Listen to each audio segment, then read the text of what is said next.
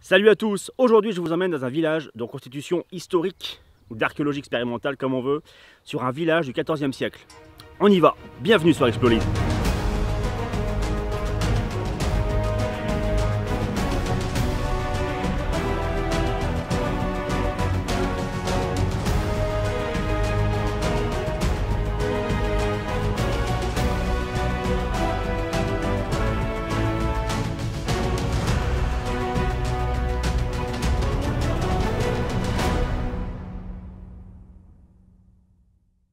Nous sommes en 1358 à Pontcroix, en Finistère, dans le Cap Suzin.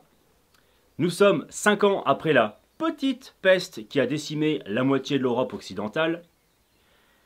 Et pour continuer sur la lancée, nous sommes aussi en pleine guerre de 100 ans.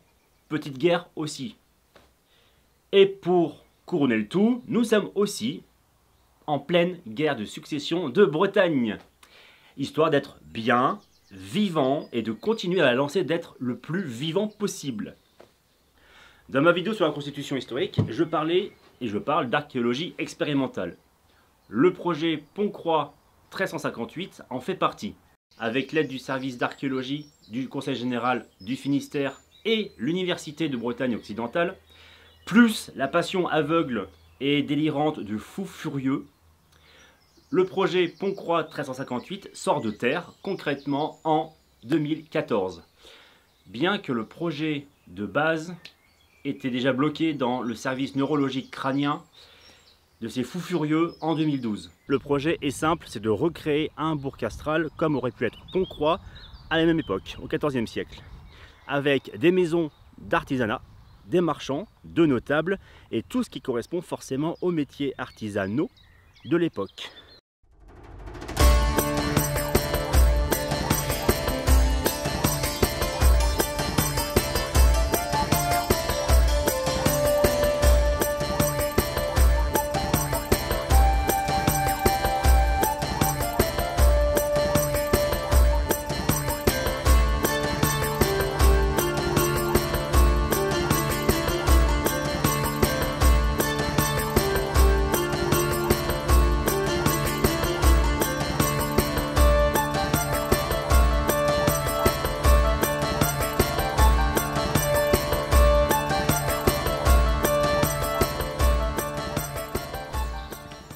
C'est un fumoir.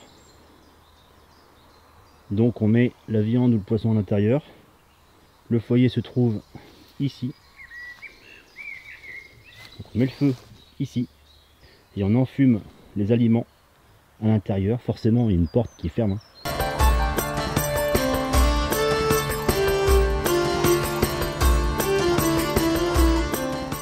Pour ici, on tourne les moutons. Donc forcément ils viennent là, ils se font tondre à l'ancienne, hein, normal. Et on récupère la laine.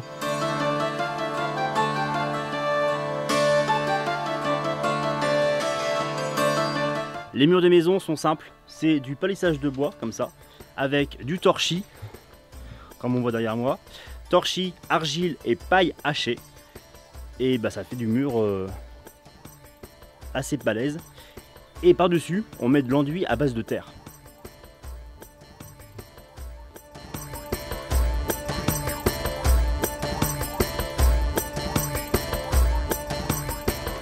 Bon là forcément c'est des maisons de pauvres, hein, puisque c'est en torchis. Les maisons des plus riches étaient en pierre avec des joints de chaux et recouverts de plâtre. Bah ouais, ça existait déjà. Les toitures aussi diffèrent, suivant l'endroit où on habite. Dans le sud de la France, on trouve des tuiles, et donc il existe des fours à tuiles. Ensuite on a ce système là de bardeaux à bois. Et dans la majeure partie du monde rural, dans l'Europe de l'Ouest, on trouve des toits de chaume. Et il n'y en a pas ici. Non, ici il n'y a que du bardeau de bois, pour l'instant. Donc bien évidemment, j'ai dit que c'était de l'archéologie expérimentale, donc tout ce qui est matière première, ce soit la terre, l'argile ou encore le bois, forcément, tout est localisé. Au plus proche, c'est vraiment, vraiment pas loin. Tout est sur place, donc forcément, c'est plus facile pour la construction. Et c'est logique d'ailleurs.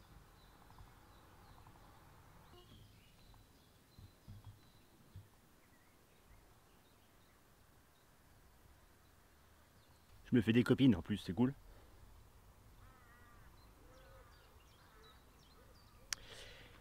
c'est de la pure reconstitution historique. Les animaux sont mêlés aux humains, donc en fait on est bien dans la reconstitution historique.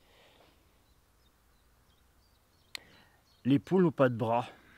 C'est flippant, non? Et baisse les yeux, toi. Comment je te mange? À midi. D'ailleurs, il est 11h30.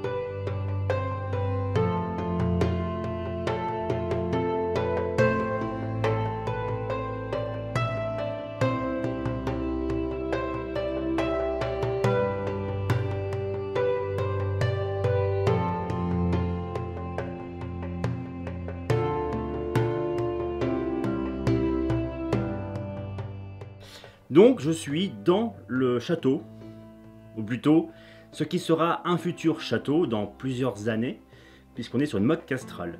Donc on a, c'est une tour de défense hein, tout simplement, qui est à l'entrée du village, fortifiée par une palissade, avec des volets pour pas se faire tirer dessus, donc protection des flèches, parce que des pseudo-chevaliers de Camelot ne comprennent pas le système des volets. Et eh ouais. Yvain, Gauvin, si vous me regardez, je vous salue. Cette motte castrale est la copie conforme de ce que l'on trouver à Quat Morven, à côté, à Saint-Born, dans la commune de Mahalon. À partir de la fin du Xe siècle, on trouve de plus en plus de mottes castrales.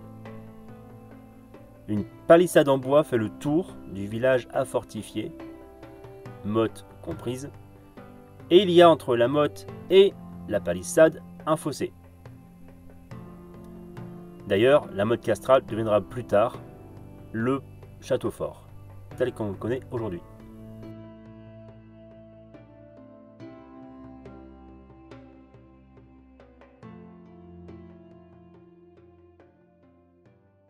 Généralement, les maisons des marchands et des artisans font environ 50 mètres carrés, dont 15 mètres carrés servent pour la fabrication, le stockage, la vente, sauf toutes les, toutes, n'importe quoi, sauf tous les métiers liés au feu, où il y a un four, potier, forgeron, coutelier, euh, aubergier, enfin tout ce qui concerne en fait, même boulanger, forcément, tout ce qui concerne le feu, l'atelier était plus en annexe de la maison que dans la maison. Dans le village, il y a beaucoup de choses, j'ai pas encore fait tout le tour, et il manque une chapelle. Alors, il est important d'en avoir une, même si on n'est pas croyant à l'heure actuelle, puisque la religion régit intégralement toutes les classes sociales au Moyen Âge. Donc il est important d'avoir au moins une chapelle, c'est un minimum. Là, ce qui est derrière moi, là, c'est la taverne. Et c'est un gros bébé. Je vais pas faire entièrement intégralement ce qu'il y a dedans parce qu'en fait c'est encore en travaux, c'est encore en construction. Donc je vais montrer quelques petites parties, pas tout, parce qu'autrement il n'y a pas de surprise. Mais voilà, c'est donc une taverne avec un étage supplémentaire où il y aura des chambres.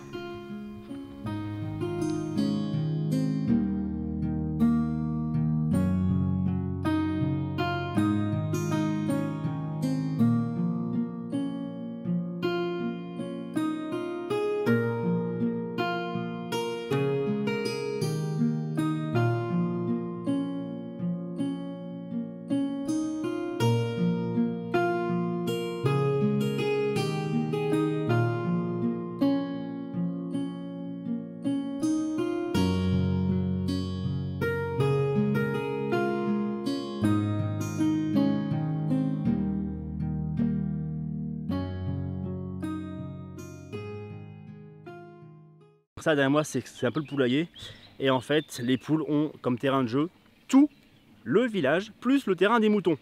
Donc euh, elles sont plutôt pas mal et elles, font, elles feraient même des jalouses envers les pauvres poules qui restent dans le noir intégralement jusqu'à la fin de leur vie.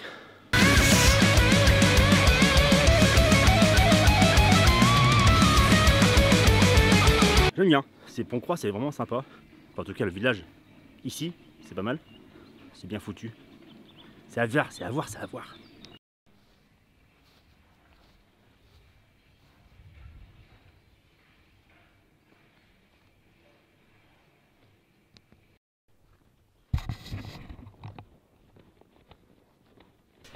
Pour ceux qui s'interrogent, ce sont des moutons d'ouessant. Donc des petits moutons, même adultes sont petits. C'est des petits moutons adultes. Voilà. Leur laine est extrêmement grasse en fait, parce qu'ils sont quand même pas mal contre le vent d'ouessant. Ça reste une île à la base. Hein. Je rappelle pour ceux qui sont un petit peu euh, hors portée de la Bretagne. Et en fait, il y a énormément de vent. Donc, il faut pouvoir rester tranquillement au chaud. Et leur laine est extrêmement grasse et épaisse. Ah, biquette Biquette pour un mouton, faut être con, non?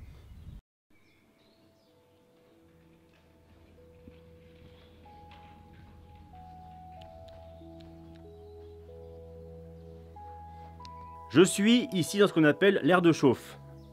C'est un trou d'environ 1,50 m de profondeur où on passe par des marches creusées aussi au sol, par l'extérieur forcément. Il y a la porte qui est là, c'est pour l'entrée. À quoi ça sert? Il y a normalement trois fours, là il n'y en a que deux seulement. Et en fait, d'après les sites, le site de Fienne en Nord-Pas-de-Calais, ce type de four 14e siècle sert à être proche du foyer pour alimenter en bois et en charbon au maximum le four et pour éviter de trop se baisser. Il y a normalement un four d'alimentation pour l'alimentation, un four pour les tuiles et l'autre four qui sert pour la poterie. Là, à Pont-Croix, il n'y en a que deux.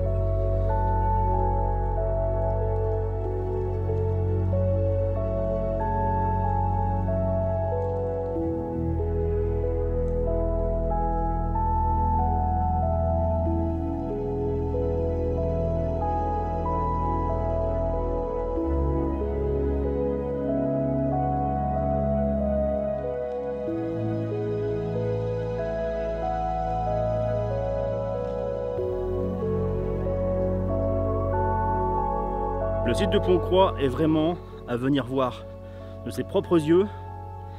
C'est toujours mieux qu'une pseudo-fête médiévale, puisqu'en fait ici on est vraiment dans l'histoire 14e siècle, vraiment dans le médiéval pur.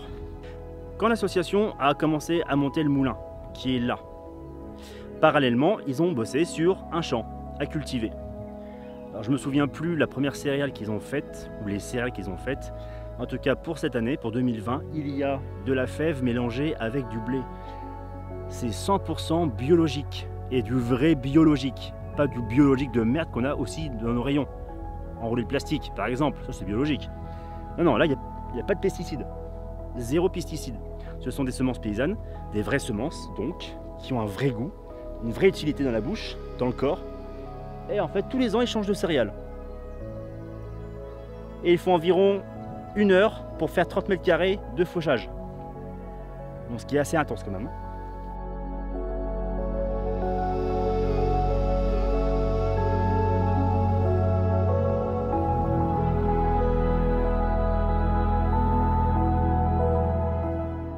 Hein. c'est terminé. Là, je suis au bout. Je suis au bout. Faut que je boive de l'eau. de l'eau, ça fait rouiller aussi, malheureusement. Et puis, il commence à faire chaud là. Sérieusement. Donc, c'est bien de s'arrêter maintenant. J'espère que la vidéo et la visite vous a plu. En tout cas, j'étais pas venu depuis 2014. Enfin, je suis venu au début du projet. Donc, forcément, ça a bien évolué en 6 ans. Et belle découverte et j'ai pris une belle claque. Donc, merci, merci à l'association. Merci à Mich de m'avoir ouvert les portes du petit trésor, c'était cool.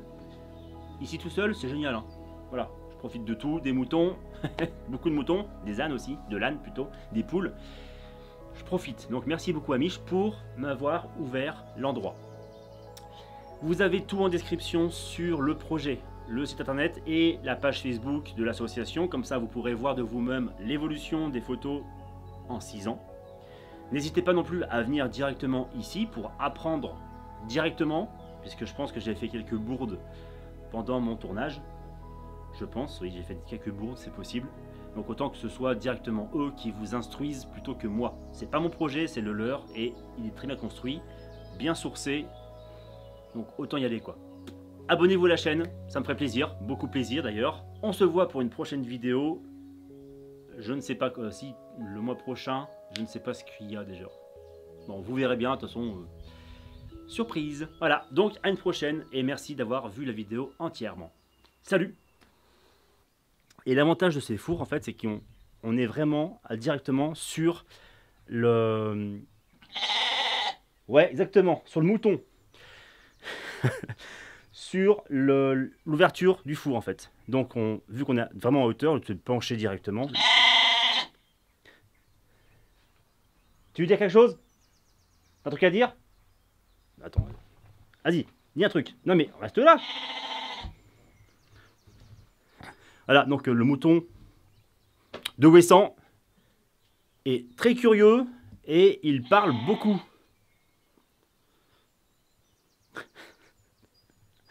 Bon bref, en tout cas, chier. Ouais, mais ta gueule. Oh, tu veux que je te mange? Donc l'ouvrier est directement sur l'ouverture. Et putain, tu vas, me, eh, tu vas me foutre la paix, oui. Fous-moi la paix.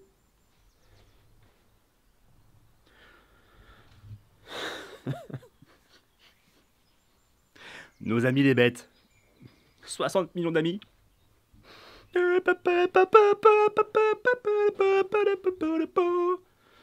Bon bref, on va recommencer peut-être, non?